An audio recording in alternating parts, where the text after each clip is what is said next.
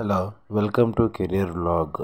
Here I am going to explain you about the accounting terminologies means various types of terms which are used under the accounting. Capital Capital is the total investment made by the particular person in the business. For example, if you want to start up a business, whatever the amount you will invest in the business, that will be called as the capital.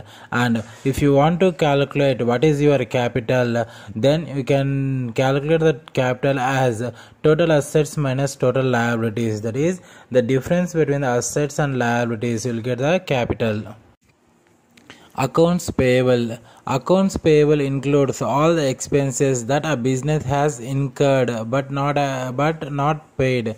Means here the company or a business has to pay the amount to some other persons. The requirements or resources has been taken by the business but the amount has been not yet paid. Such type of things are called as accounts payable and accounts receivables means here the amount should be received by the company. Means it includes all the revenues that a company has to provide but has not yet collected payment on. Means goods given on credit. Whatever the products you have manufactured the products has been handed over to customers but the amount has not received by the company. They are called as the accounts receivables. Assets assets are those things which are having the value and these are owned by a particular person or a particular company regarded as a having value. And these assets will go for meeting the commitments of a particular business for example the machinery will be considered as a asset. If you purchase the machinery you can you can perform your production activities through uh, machinery. So like that assets are those which will be having certain value and they are owned by a particular company or a particular person and they will go for meeting the commitments of your business assets will be can be two types current assets and fixed assets. Current assets are those assets which will vary according to the situations and fixed assets it will remain constant for the in all the situations expenses. The amount which you are paying for certain persons for a service rendered by the person or the amount which you have paid for the resources consumed. So like that whatever the amount you are spending either for its service or for the resources purchasing we will call it as a expenses. Example you can give it as a salaries paid to the employees. Employees are working for us. They are providing the service. So we are paying the salaries. And rent paid to the particular particular land or building which is used for your office. All such type of uh, amounts will be called as the expenses liabilities. Liabilities are the amount of cash or other affirmed to be paid in the future to certain persons. Means here the company has to pay the amount to certain persons. Either it may be for institutions or it may be for a particular persons.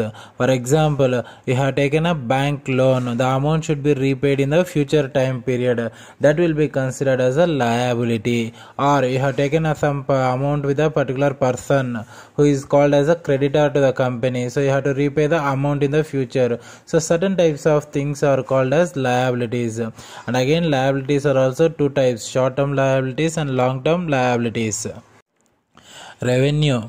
The income which is derived from the business activities means whatever the business activity you are performing by performing those activities whatever the amount or income you are generating that will be called as a revenue. Book value the book value literally means the book value literally means it is a total value of the business according to the accounting accounts maintained in the organization which are reflected from the financial statements. If you want to say theoretically the book value is the total amount of a company eh, which gets from the assets are sold and liabilities are paid back. Means here book value can be said as literally as well as theoretically. Literally it means the value value of the business according to the accounting books. And uh, theoretically it is the total worth or total amount of a company if the assets are sold and uh, if the liabilities are paid. Whatever the amount remaining that will be called as a book value. Book value is the amount that the company's creditors and investors can expect receive if the company is liquidated. Fixed assets. Fixed assets are those assets which can be used for longer time period eh, for the business use. And fixed assets cannot be converted easily into cash. Or within a one year one financial year we cannot go for converting the fixed assets into cash. The examples we can give it as the manufacturing equipments real estates and furniture and are called as plant. All these are the fixed assets. It will be used for a longer time period and these are called as the tangible assets which are used for the business purpose current assets. Current assets are those assets which can be converted into cash very easily within a one year of time period. In the previous we have said fixed assets which cannot be converted easily into cash but whereas current assets we can easily convert into cash within a time period of one year. Examples we can give it as a cash inventory and prepaid expenses business transaction. Any dealings of business which involves trading. Trading means buying and selling of goods or services in exchange of some value that is money such type of tradings will be called as a business transactions.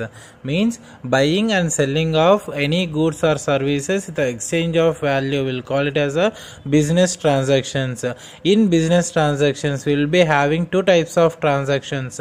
Cash transaction as well as credit transaction. Cash transaction means after getting the goods and services into hands immediately if you are paying the cash and closing the transaction we will call it as a cash transaction. And credit transaction. We will receive the goods as of today and we will pay the cash in the future time period. That will be called as a credit transaction. Cash discount cash discount can be given by the seller to the buyer in return for paying a bill before the scheduled due date. Means in case of credit transactions a customer who has to pay the amount to the seller. So if he pays the amount before the scheduled date then a seller will go for allowing the discount for the particular buyer. That is called as cash discount. And trade discount. It will be made on the full invoice price. Means a customer who buys goods in ordinary course of trade means you will go for purchasing regularly from the same supplier.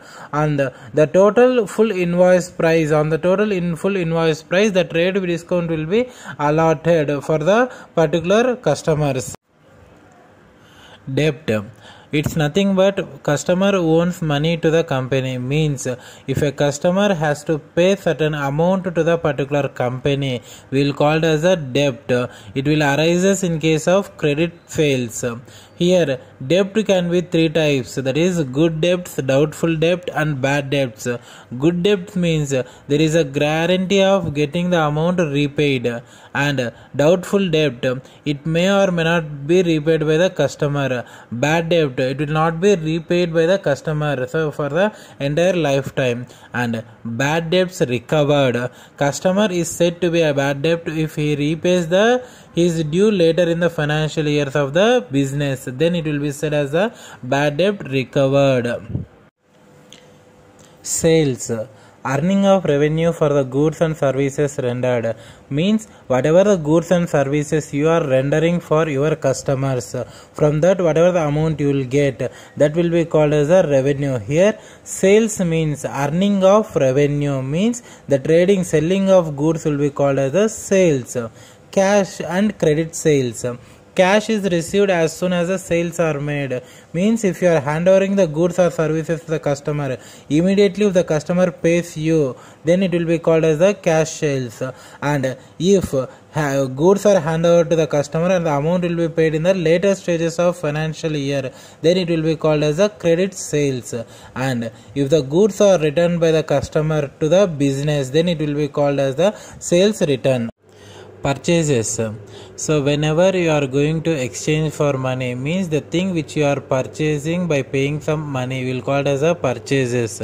Here if you are paying the cash and carry transaction means immediately you are paying and getting the product to your hands. That will be called as a cash purchase. But if the payment is made after few days or after months and goods are remi- received immediately that will be called as a credit purchases. And whatever the goods you are purchasing if the goods are returned to the supplier. Then it will be called as a purchase returns or return outwards. Debtor. A person who has to pay the amount to the particular business or particular company he is called as the debitor debitor will be present in case of the credit sales of goods and services. And creditor. A person or a firm or a company where the enterprise has to pay the amount to the particular person we will called as a creditor drawings. It is the amount of money or the value of goods which has been taken by the proprietor or partner for his domestic or personal use.